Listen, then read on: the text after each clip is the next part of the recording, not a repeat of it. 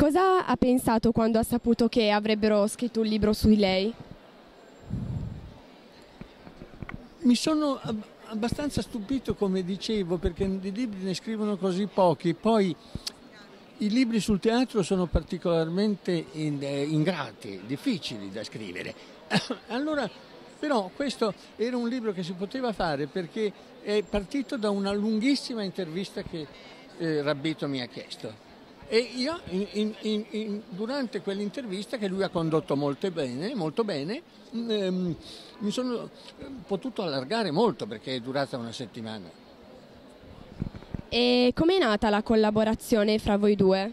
Mm, Per puro caso, perché io sono andato a- all'Università di Enna, dove lui fa il ricercatore, perché mi aveva inse- invitato lì Liborio Termine, che era docente lì, oltre che a Torino, e ehm, l'ho conosciuto. Lui si è un po' innamorato di, di- di- di quelle tre o quattro lezioni che io ho fatto e mi mi ha chiesto di fare questo libro. Eh, Io volevo chiedere, eh, la crisi in Italia, anche culturale, che c'è in questo periodo, secondo lei come potrebbe essere risolta?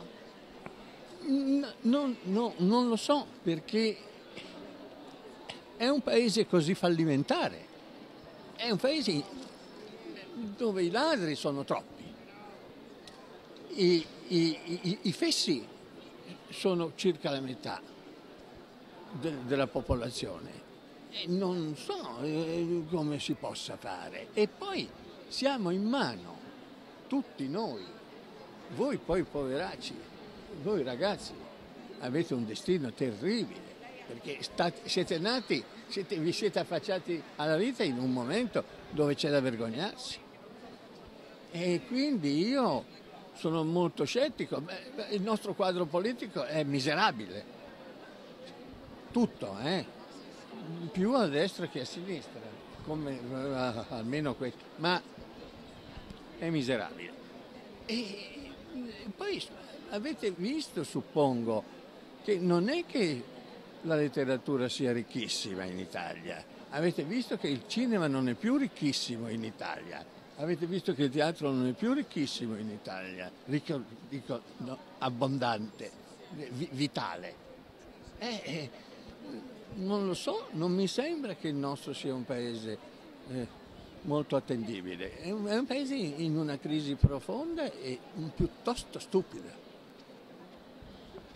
E invece la passione sua per il teatro, com'è nata Com'è? poi la passione per il teatro? Ma guardi, io non, non lo so com'è nata perché eh, io eh, ho, ho, mm, ehm, pensavo, eh, ci sono nato, eh, nel senso che io sono milanese, lì eh, c'era il piccolo di Milano che era i suoi primi anni di vita, io sono, sono, eh, sono del 34, dunque ho fatto in tempo a vedere il 46, 47, i primi 48, i primi spettacoli del piccolo di Milano di Streller e poi eh, la Scala, ci andavo molto alla Scala, io stu- ho studiato un po' la musica e allora sono andato molto alla Scala. Dunque. Non, non- non ho avuto una, una rivelazione, Eh, ci sono nato un po', un po' troppo vicino o un po' troppo dentro. E poi Streller e, e Grassi, che allora era il direttore eh, organizzativo, eh, era Grassi, il regista, il direttore artistico era, era Streller, e mi hanno invitato a Milano, io stavo a Roma all'Accademia d'Arte Drammatica e quando l'ho finita sono andato a Milano e è nata così. Bene, grazie mille, gentilissimo.